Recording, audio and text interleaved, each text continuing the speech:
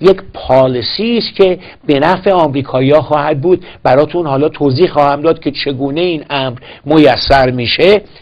در پی نگرانی از گسترش مشکلات مالی در بازارهای اروپا ارزش یورو در مقابل دلار یک و هفت دهم درصد دیگه دیروز کاهش پیدا کرد و در پایان معاملات چهارشنبه در بورس نیویورک هر دلار هر یورو یک دلار و 22 سنت معامله شد که پایین ترین رقم برابری یورو در مقابل دلار از 17 اپریل به این سمت هستش. از 17 اپریل 2006 ارزش یورو در مقابل ین ژاپن دو درصد کاهش پیدا می‌کنه و تحلیلگران به اصطلاح اقتصادی نگرانی بازار رو از گسترش بحران مالی یونان که بعد در همین چند روز آینده به اسپانیا و یکی دو کشور اروپایی دیگه سرایت می‌کنه کشورهای منطقه رو به یک به از نظر سیاست های ریاضتی جدید و پایین اومدن ارزش یورو در یک خطر محض قرار داده.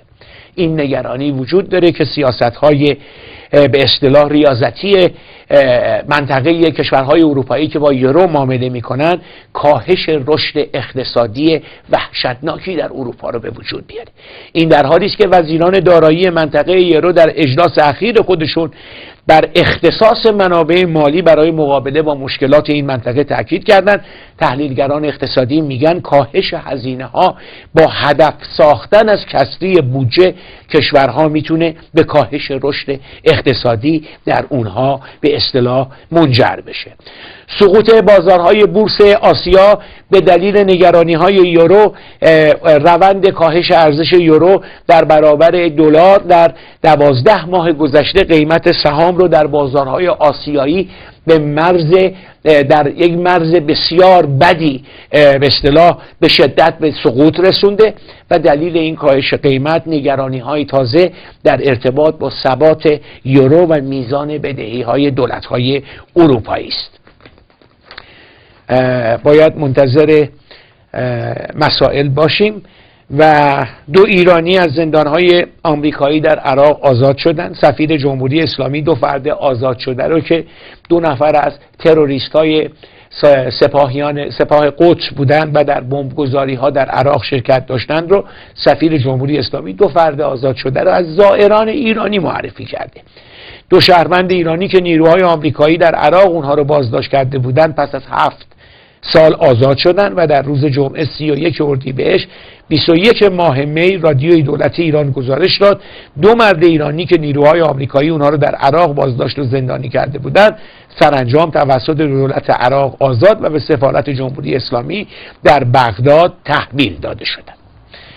چه معامله پشت این جریان هست. حتما با ملاقات مادران آمریکایی که با چادر و چارقد برای فرزندان بیگناهشون به ایران اومدن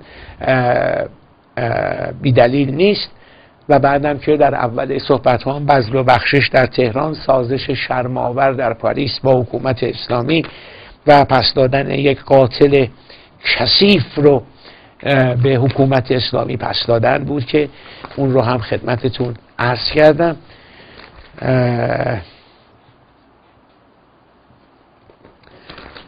و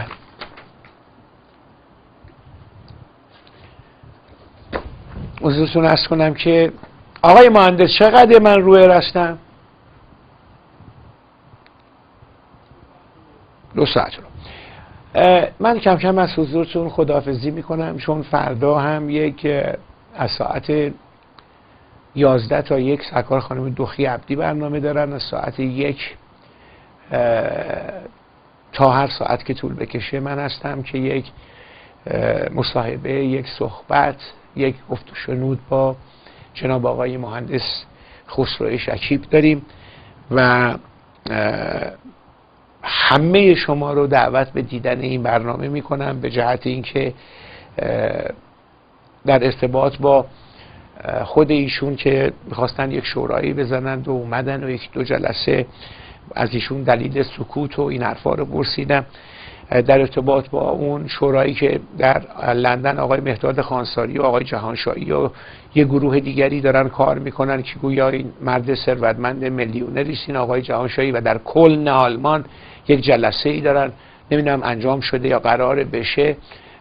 جناب خسرو شکی با جناب آقای احمد و ویسی حدود سه رو یک ساعت در مورد اینکه آیا علی حضرت رضا شاه دوم شاهزاده رضا پهلوی اون حرکت رو تایید کردن اون شورا رو یا نه و در مورد موقعیت خود شاهزاده و زدن شورای رهبری حدود سه رو به ساعت ایشون صحبت کردن که تمام این مسائل رو فردا با شما در میون می‌گذارن جناب شکیب و با شما خواهیم بود.